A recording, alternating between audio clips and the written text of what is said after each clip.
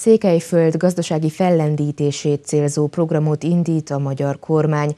A támogatást a sikeres Marosmezőségi programot követően terjesztik ki Kovászna, Hargita és Maros megyékre.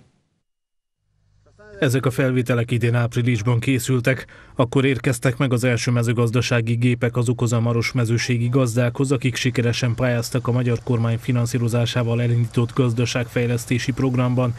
Fűrészgépet, plazmavágót, kompresszort és vetőgépet is vásároltak a mezőgazdászok, amely lényegesen könnyítette munkájukat, illetve a termelési tevékenységüket.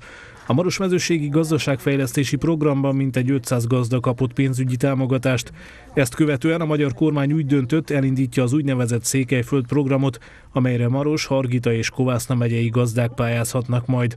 A programot a Proekonomika Alapítvány bonyolítja le.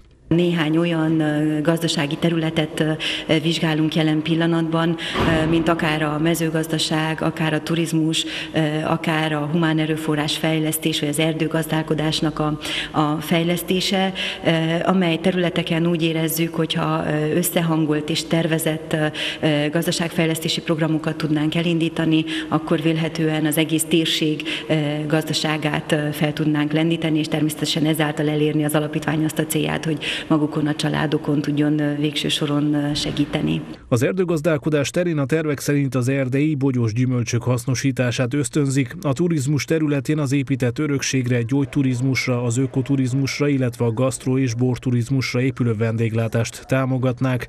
A program becsült költségvetése 25 milliárd forint és várhatóan jövő év elején rajtól.